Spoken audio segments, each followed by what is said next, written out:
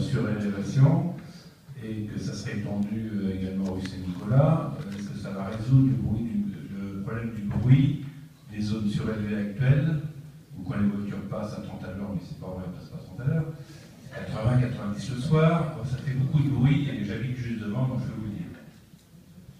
on sera là sur ce que vous parlez, c'est les, les, panneaux sur les, plateaux surélevés rue Saint-Nicolas, le choix qui avait été fait à l'époque, c'était des gros pavés bien montés, euh.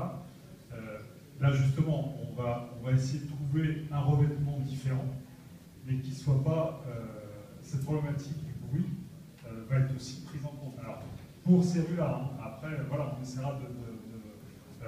il existe, depuis que la rue Saint-Nicolas a été réalisée, il existe d'autres techniques. L'année on parlait d'aménagement du quartier Saint-Nicolas, et un des objectifs, la des commerces rue Saint-Nicolas.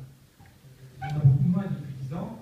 Je vois qu'en fait, la rue Saint-Nicolas, dans les phases prévisionnelles de travaux, est prévue pour 7 ans. 7 ans. Je m'inquiète euh, de savoir s'il restera encore quelques commerces et pourquoi a-t-on privilégié les rues adjacentes et non pas la rue principale, qui est la rue Saint-Nicolas. la majorité des questions soir portent la rue Saint-Nicolas. Oui, parce que sur les rues adjacentes, les gens euh, puisqu'ils vont avoir les travaux. Mais sur la rue Saint-Nicolas, euh, Monsieur Charles, je vous rappelle que la partie basse a été refaite. Certes, il y a longtemps, mais, mais elle a été refaite contrairement. Donc euh, même dans, après, dans les phases suivantes, c'est pas sûr que ce soit la partie basse qui soit faite en premier. Après, euh, voilà, c'est, y a, effectivement, hein, j'entends tout à fait.